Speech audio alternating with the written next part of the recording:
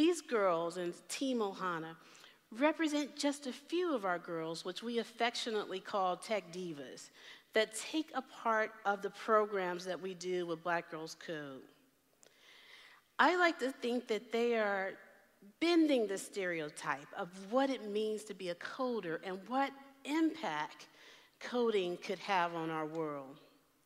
When we started Black Girls Code in 2011, we were really addressing this important issue. And, and, Robin talked a lot about this in her speech right before me. But there's a serious gender divide in the technology space right now.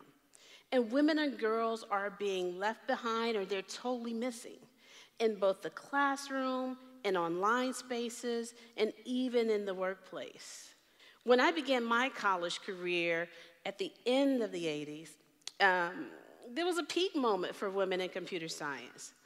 Women received approximately 35% of bachelor's degrees in computer science in the US. Since that time, that number has plummeted.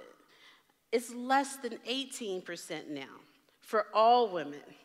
But for women of color, that number falls off a virtual cliff.